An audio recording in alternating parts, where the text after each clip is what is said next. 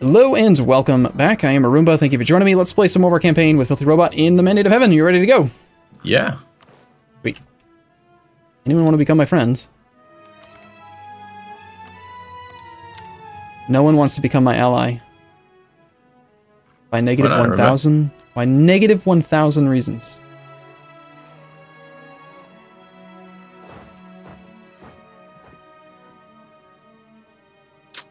I am in bad shape over here. I'm not sure how I'm going to get rid of uh, my loans. Uh, honestly, bankruptcy might be your best option. Uh, if if you know for sure that you're gonna like go bankrupt, that's like the Well, exact reason I was that that. going to do that with the uh, support of by becoming a tributary of Ming, so they protect me. And they won't do it now because they won't accept me because they hate me. Trust below 30 minus 1,000 reasons. That's the only reason they won't do it right now. But my trust with them is only 21. So that means a very long time before I can do that. So I guess I could go further into debt and then do it afterwards. But the thing is, the, the other target, I was going to attack one of their other vassals, and I can't do that now because they'll defend them. So that means five years of just negative cash right now. It doesn't feel good, man. Doesn't feel good. No, that sounds like it would suck. So what else do I lose from bankruptcy? I lose all my monarch points. I lose I think it tells you in there like any, anything that you could description. Yeah. Yeah, anything that you could, uh, like any, anything you built in the last five years gets destroyed. Um, all of your debt gets wiped. All of your money is gone. You have increased. Your advisors are all fired. All of your monarch points get set to negative 100. You don't get rolled back on like tech or ideas though, so that's Yeah, it's usually going to be.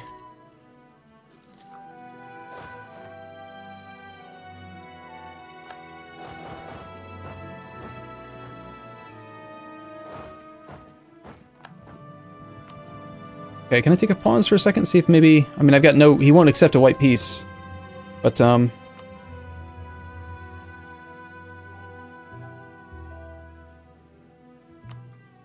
Strongly considering just trying to end the war.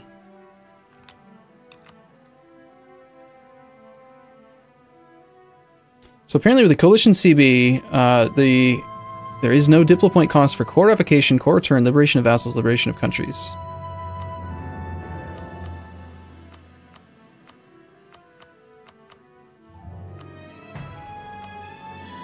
Yeah, that is a big problem. This trust loss with Ming. I wish I realized that uh, rejecting those offers hit me with trust like that. That is Alright. pretty devastating. Okay, I'm gonna unpause if you are. Yeah, go ahead. Looks to me like the best possible peace deal is just gonna be a white piece. Just get done with this war, basically. Call it good. I mean, I'm not gonna like get any money out of it. Of course, more time spent decaying.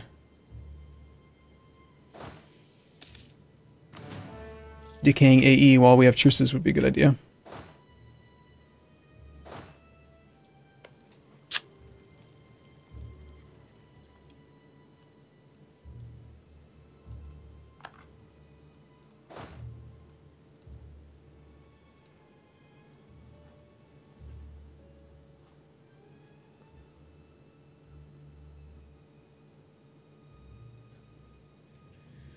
Thanks for making me suffer 5% attrition there, Taungu. Appreciate that. That's what I really needed right now. just marching right through this land. Just like, yeah, it's fine. It's whatever. It's good. It's fine. Got 35 war score. Negative 27 reasons for just a white piece. Crying out loud. Coalition war. Mongyang holds Mongyang. Mongyang military strength. Pegu is making gains. Positive reasons because I control. I have a larger relative strength of the armies, apparently. That's a good sign. The monastic orders gain loyalty, or I could gain manpower.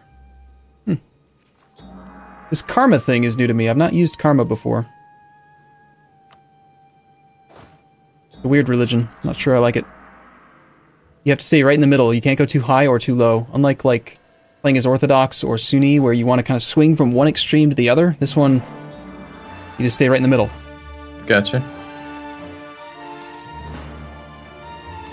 Ah, fuck.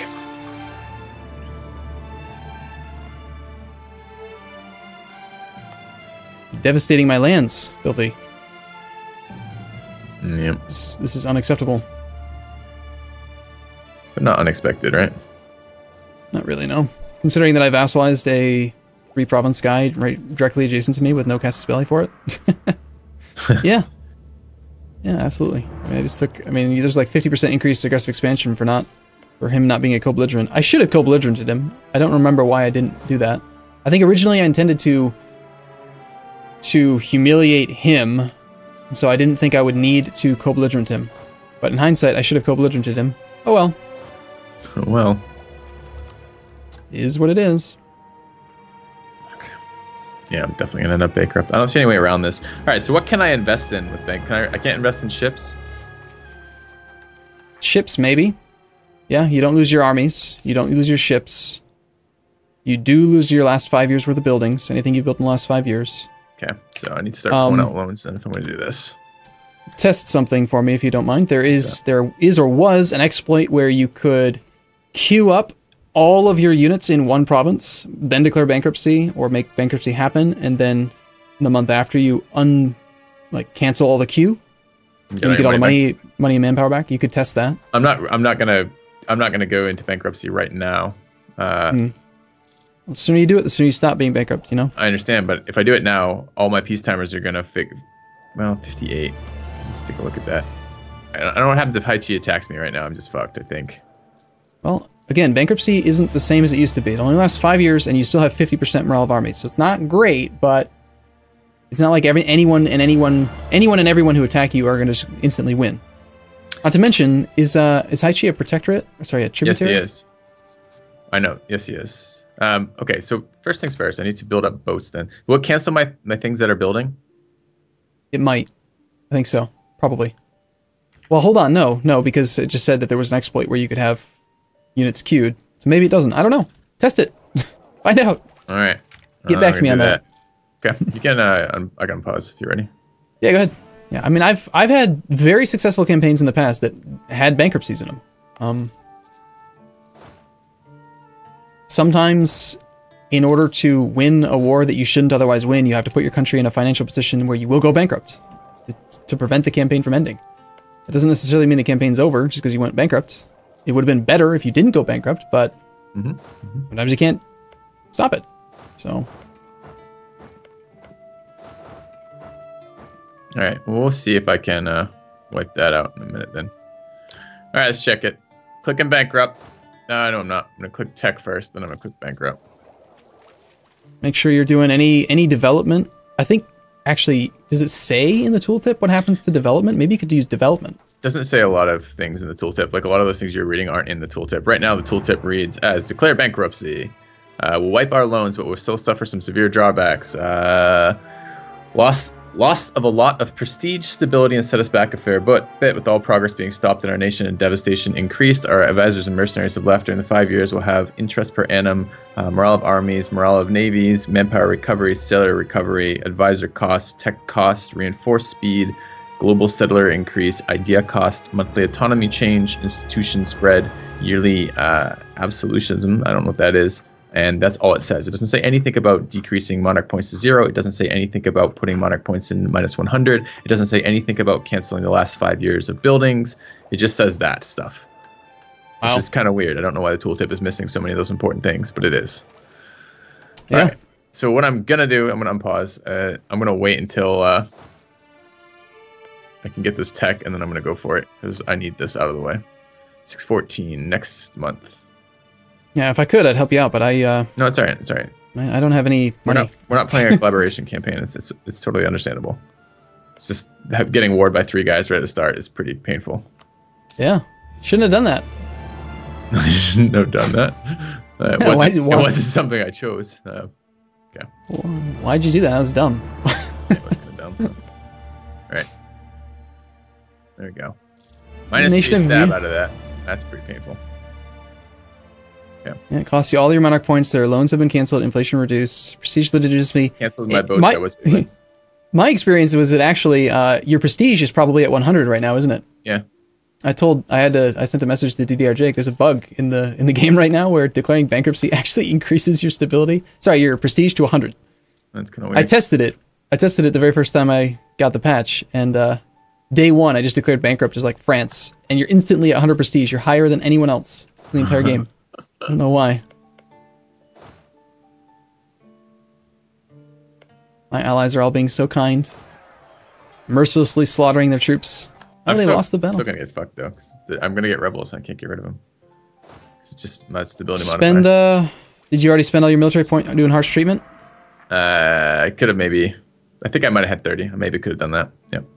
Three Did months. your of that. war exhaustion go down? Minimum cost is 50. No, my war exhaustion is not down.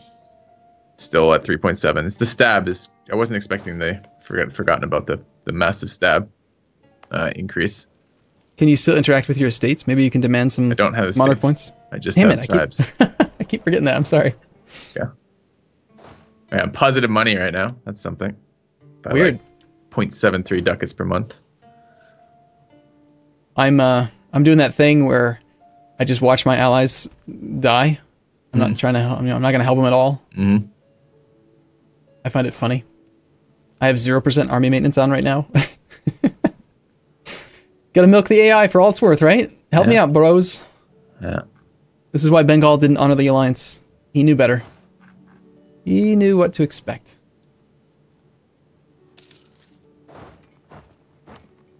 Oh, I already have. dip- Okay. On the other hand, it's only 10% aggressive expansion and 75% cost for or revocation core return.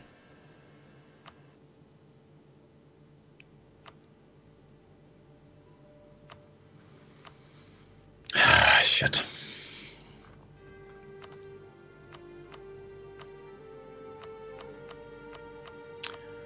I do with this prestige.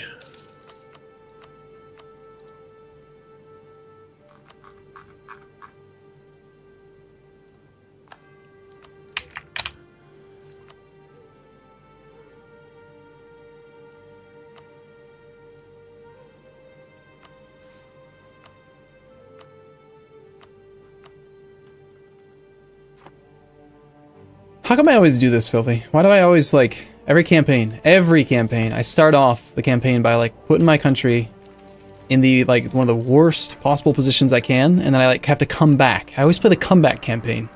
Yeah, you're greedy. Yeah, that's it, isn't it? I am, I'm just very greedy. Yeah. You're right, I am. That's a definitely true statement. Mongyang thinks he's making gains.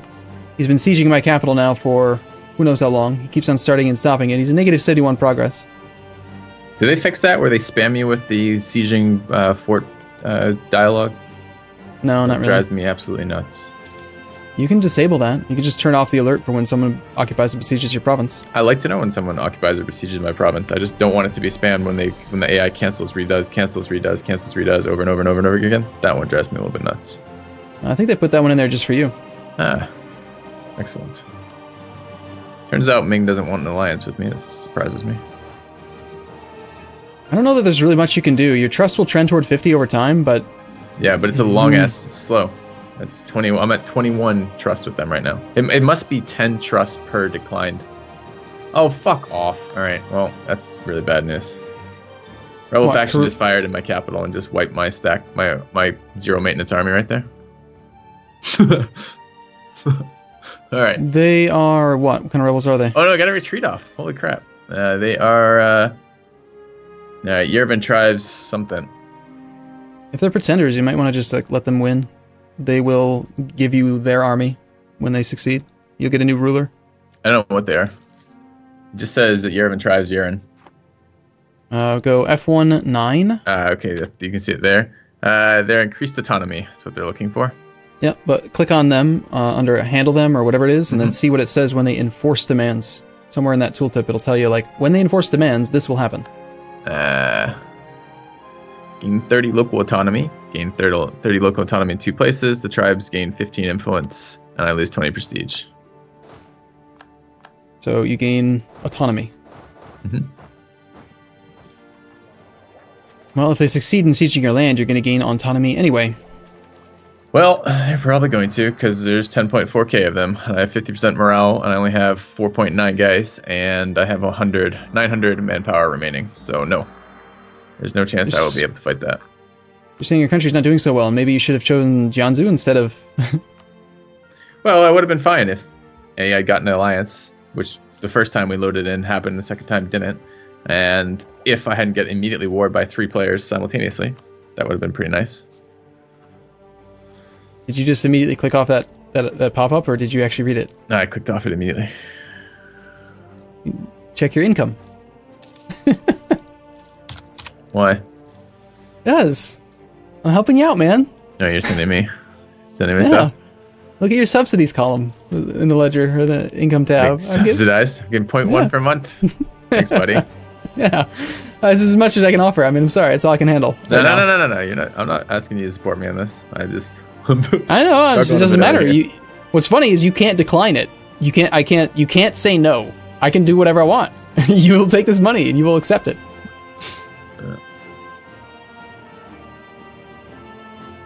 Really. Really. Uh, I clicked on improve relations with uh, threatening countries, and it sent a diplomat to the Ottomans. That's funny. The Ottomans are threatening, but I wouldn't really have put that as high priority on my diplomats. No, me either. I have no fucking idea what I'm gonna do about this siege. All right, 50% morale hit. Huh? Okay, consider this. You're at peace right now, right? Mhm. How many provinces do you own?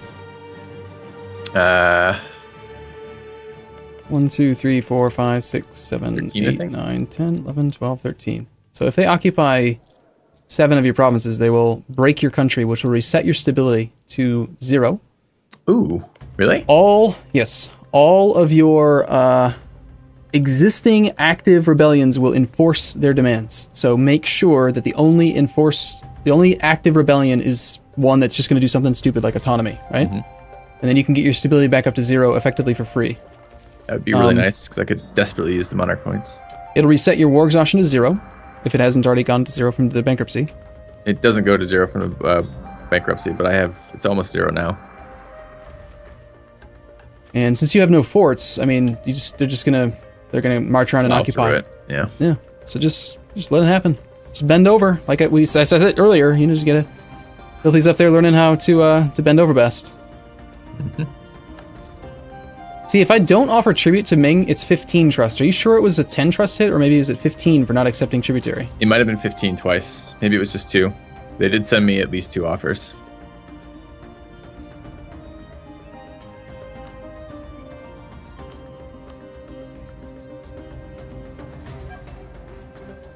I thought you said they were sending an offer every month. I got two, at least two in a row, and it might have been three in a row. I mean, we're playing on very slow speed, so Oh, we're on speed one right now. We don't need to do that. I'm not at war. I don't You're not at war. I'm watching Rebels siege me. Like we could watch that faster and it'd be just fine.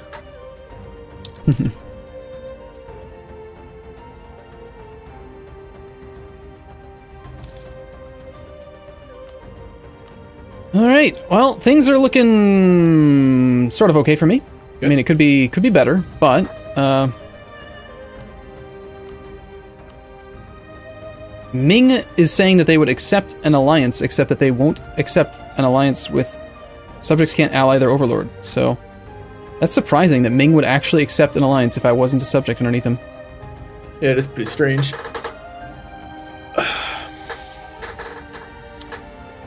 All right, what are we going to do about this Arumba?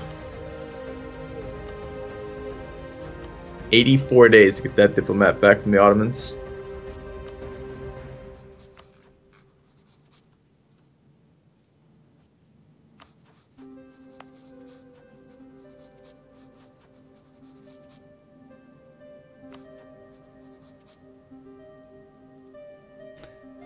Eighty-four days. Yeah, they fixed shadow diplomats, by the way. Good. Something about Yeren. Just gotta pop up. Something about you. What happened there? Yeah, current heir will die. I get a strong claim becomes ruler. I lose 25 horde unity. Done. Wow. The glorious Daxi the first Guo. 554. Nice Strong stats. claim. Damn, that's really good. Congrats. That'd be very helpful. Thanks. By the way, uh, you that event, it was something about like a like a what, what was the text? Do you remember any of it? It was like horde something or other. Like no no it said like no child can something. Yeah, okay, so you're not allowed to have a regency. It's just not possible as a horde. But also bear in mind that you have to be at war like once every five years. If if you don't have an active truce with someone, you will get bad events almost every like two or three months as a horde. You have to always have a truce. Okay. So just make sure. Well, And- and I'm- yeah. Okay. It's I know. I know you're have a couple bankrupt. months still bankrupt, where I'm not gonna have a truce. Hey, you can declare war on me if you want. Take the stab hit. It's fine. I'll let you do it. I'll just expect you to give me all of your land as compen- recompensation. That's understandable. So, anyway, uh, it's that time, eh? I guess it is. All right, All right. we'll be back uh, same time, same place tomorrow. Thanks for watching, guys. See you soon.